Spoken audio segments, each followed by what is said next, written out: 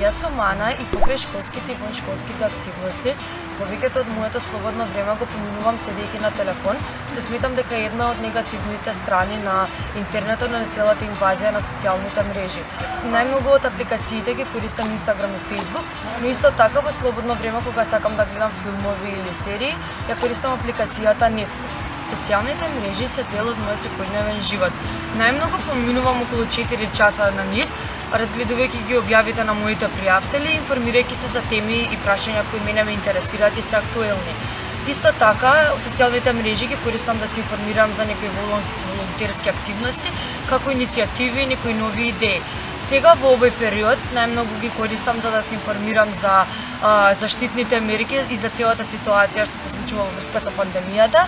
А, исто така ги користам за да се информирам за новите настани што се случува секојдневно ни светот. Една од апликациите што најмногу ја користам е апликацијата Instagram. А најчесто Инстаграм ја користам за да се допишувам со моите пријатели, за да ги прашам како им поминал денот и обичам да ги прашам каде ќе излегуваме вечер или наредниот ден.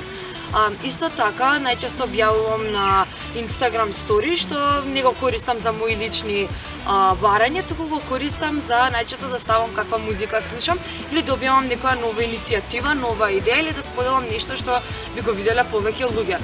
И тука доаѓа една од позитивните страни на Инстаграмот, тоа е дека може може да следиме и да не следат безброј луѓе, колку што луѓе сакаме можеме да заследиме.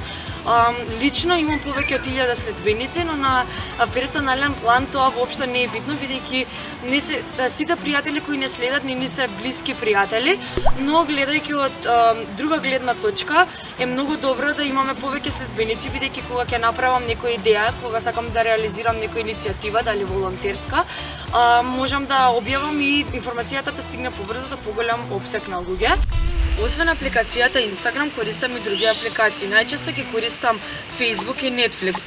А Facebookот го користам за многу посериозни работи, не објавувам лични податоци и лични слики.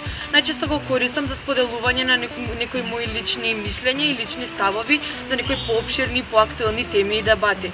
А додека пак Netflix апликацијата користам во моето слободно време, кога сакам да се опуштам да гледам некој филм или да гледам серија со моите пријатели.